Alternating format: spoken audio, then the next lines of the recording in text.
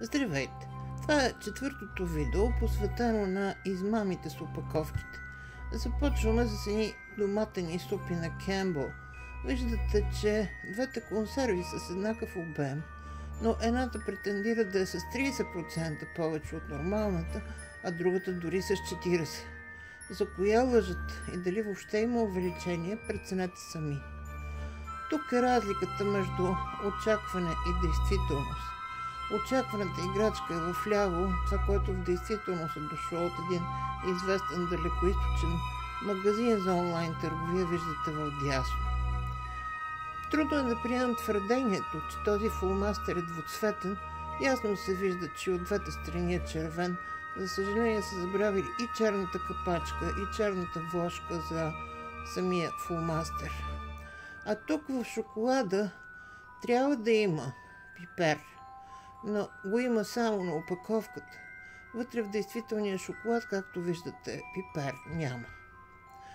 Ужасно е да очакваш тази красива спирала, която виждаш вляво на опаковката и да получиш тази неясна каква сладка маса, която е в ръцете на снимания човек. Тази опаковка ме впечатли особено. Разбирате, че става дума за претенцията вътре да се предлага розова лимонада – която да няма бранд, но всъщност виждате, че излиза някаква бледа напитка, в която нищо розово няма. Това е измамата с кофите, най-често с пържено пиле, както и при много други подобни. Всъщност долната част е запълнена обикновено с някаква хартия или пликче и само в горната част има пиле. Тук става дума за злоупотребата с ужасяващи образи, а в този случай вижте колко хитро са подредени тези пастели, така че да изглеждат като една огромна котия, но всъщност вътре празното пространство е поне на една втора. Колко разлика има между картонената опаковка на пастата за зъби и тубата в нея. Или защо има вдлъбнатина толкова силна, каквото и да е това, което е вътре в този буркан, за да ви създаде впечатлението, че има много от съдържимото. Отново трика с напълването с хартия, това са пържени картофки, получавате една огромна опаковка, но всъщност вътре картофите са не много. Това е превключвател. Виждате, че на картинката има три възможности, но в действителност продукта вътре има само две. Тази измама е също много често срещана. Това, което се съдържа вътре, трябва да помогне на малките момичета сами да си изработят бижута. Ови обаче, съдържимото е само в тази миниатюрна, видима част на огромния контейнер. Иначе котията е празна и там няма кой знае какво съдържание, за да направите много гривни. Този феномен също сме го обсъждали. Бутилка с гел за душ, който отгоре има опаковка, която закрива грандиозната дупка в самата бутилка. Или получавате огромна котия, в която очаквате да има много шоколад. Всъщност има миниатюрни 5 блокчета, които са разположени стратегически дори на разстояние между тях, така че получавате голям обем и много малко съдържание.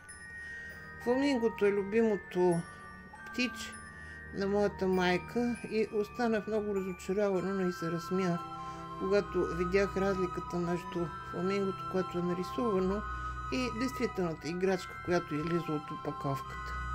А това вече дори е опасно. Ясно има надпис на тази опаковка, който казва, че въжето, което се предлага, не е удачно за изкачване – тогава защо на картинката има човек, който се изкачва? Или защо когато ви предлагат сладолет, ви го слагат в две кофички, предлога ще бъде да не се размръзне в ръката ви, но всъщност отново има оптична иллюзия, че целият обем е изпълнен с сладолета, вие получавате много по-малко количество. Разгледайте внимателно този кадър. Може би очаквате целият този контейнер да бъде пълен с неща за рисуване. И виждате, че тази светлокафява картонена част оплътнява действителните опаковки с моливи и пастели по стените на контейнера, а вътре той ще бъде празен. Там няма да има нищо. По същия начин тук дългата един ярд опаковка за сникърс би трябвало да е запълнена цялата за сникърси. Обаче не. Виждате, че всъщност близо половината от нея съдържа ВЛПП картон, който оплътнява сникърсите, така че те да стоят на място и да не дрънкат из котията. Или колко пресни зеленчуци има в действителност. Виждате на картинката има разнообразие от броколи, зелен фасол, царевички. В действителност в опаковката преобладават картоф, морковите. Тук има нещо подобно. Къде са чушките, къде е зеления фасол.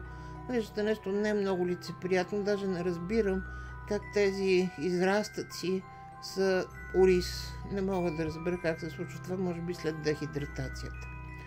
Отново, продукт, който е дълбоко замразен, трябва да съдържа моркови, грах, зелен фасол и виждате, че в действителността а, има може би много сушена царевица, едно-две морковчета и едно грахче. А тук, както се случва, са забравили да сложат изобщо крема в тези порички. Разочарование от Алиекспрес с костюм за Хелуин. Това е била идеята в ляво, в действителност какво е получено, виждате в дясно. Ужасно се чувствам, но има такива случаи, когато и у нас отвориш замразена пица, за да я изпечеш за вечеря и вътре от изобилието на салам има само едно колелце. А тук вампирската кръв, както е кръстена тази бутилка с съдържимо течност, гел за миене на ръце, за разочарование на тези, които очакват, може би тя да е червена, всъщност си е прозрачен, нормален течен сапун. Вижте как ви създават отново оптичната иллюзия, че целият голям буркан съдържа крем, но всъщност вътре има миниатюрно бурканче, което държи съдържимото, но не голямата опаковка. Тук имате същия случай огромна картонена опаковка и много маничко бурканче със съдържание вътре. Тук виждате ли колко много ВЛПП е сложено под истинските неща записане, отново за да ви създаде иллюзията, че купувате много писалки или моливи. Тези бутилки са много прибамливи, изглеждат много красиво, но всъщност колко са големи – да не са ли не са големи колкото пръстав или колкото една запалка. И отново номера с опаковката, която задържа само в видимата част на горния слой тези продукти, които трябва да виждате, за да се подмамите, че котията е цяло пълна. Всъщност, отваряйки я, виждате, че това е един кухобем. Ето тук същия случай. Излишното е запълнено с велпопе, за да не дрънка. Къде са тук горските плодове? Остава да ги намерите при повече късмет. Този щедър дар от Русия много ме развесели. Нищо щедро не виждам. Отново са използвали дупка, сплескване на бутилката. Така че, може би на височина. Тя отговаря на бутилка, която би съдържала 1 литър, но всъщност може би в тази бутилка, която ви се предлага на цената на 1 литър, няма повече от 700 грама. Ето друг случай на опаковка, в която тубичката е само в един едната част на контейнера и съвсем не е целият обем. Случаи с сирене, със същата идеология. И уви, виждате тук пък ориса насипан, отново само в прозрачната част на буркана и го няма там, където опаковката отгоре на буркана е в тъмен цвят. Дупка в долната част на контейнера, която намалява вътрешния обем и да ви предлагат толкова подправки, колкото ви разчитате, виждайки голямата опаковка. Случая с каймата. И отново оплътение към стените, за да останете с впечатление, че въпросните сладки или бисквити са в цялата котия. Вижте колко са големи тези моливчета. По същия начин долу има пълнежи. И те съвсем не ви предлагат 64 нормални молива, а такива съкратени версии.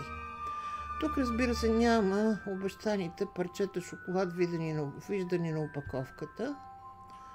А това да, дори не искам да си представя какво е. Обещанието е за ризото с пили и гъби, но ми изглежда като нещо, което не бих искала да назова. А не искам и да съм на място на детето, което би получило тази играчка. В какво е разликата между тези предлагани опаковки с различно действие? Не е лошо да проверите сами, най-вероятно е никаква. На този десерт се предполага, че трябва да има тиква или парче от нея за Хелуин. Виждате обаче, че някой е забрал да го нарисува. Играчката в дясно за мен отново ужасяваща срещу обещанието в ляво. И тези стикери за детските ногти, които виждате, че едно дете малко трудно ще получи ефекта, който е обещан дясно на тази картинка. Това са памети, които би стана много смешно как изглежда отвътре, как са а, съчинили на место твърд диск, да има флашки, в които да се извърши записването. И така, скъпи мои приятели, от една страна бъдете бдителни какво купувате, четете внимателно, мислете, не посягайте към всяко нещо, което външно изглежда привлекателно. От друга страна, ако вие сте производители, не си позволявайте такива измами с клиентите, защото носите риска да никога да не ги превърнете в лоялни. На моя YouTube канал Дневниците на професор Кръстева аз правя съдържание за маркетинг всеки ден. Ако то ви допада, моля абонирайте се за канал. От сърце ви желая прекрасен ден!